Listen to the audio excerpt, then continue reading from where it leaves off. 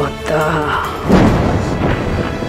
পদ্মা, আমি বেশ বুঝতে পারছি, তুই একটু একটু করে তোর বিষের পাপড়িগুলো মেলছিস। তোর হাত বড্ড লম্বা হচ্ছে পদ্মা।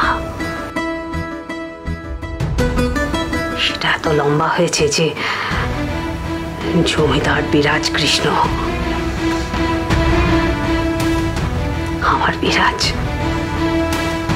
তাকে পর্যন্ত তুই বশ করে ফেললি। হাত করে ফেললি।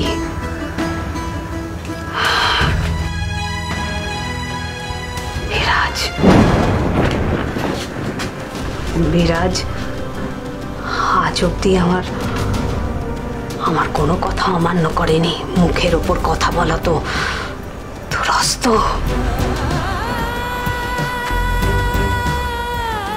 কথা?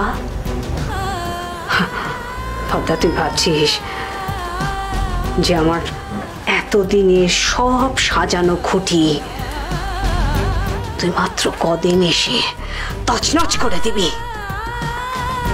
আমার সমস্ত স্বপ্ন, সব আশা ভেঙে নষ্ট হয়ে যাবে। না না না। বিরাট যদি আমার হাত থেকে বেরিয়ে যায়, তাহলে আমার সোমেশ্বর। সোমেশ্বরের ভবিষ্যৎ যে অন্ধকার, সেটা তো আমি কিছুতেই হতে দেব না। তুই আমাকে এখনও চিনতে পারিসনি, পদ্মা।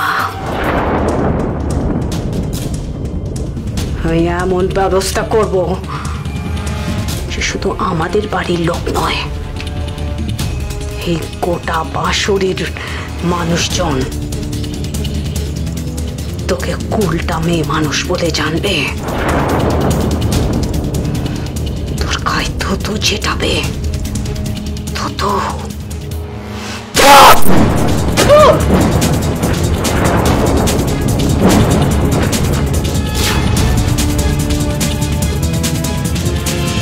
ইস! বিষ ওই মেয়ে আমার সংসারে বিষ বৃক্ষ বপন করেছে। বিষ বৃক্ষ। কেন?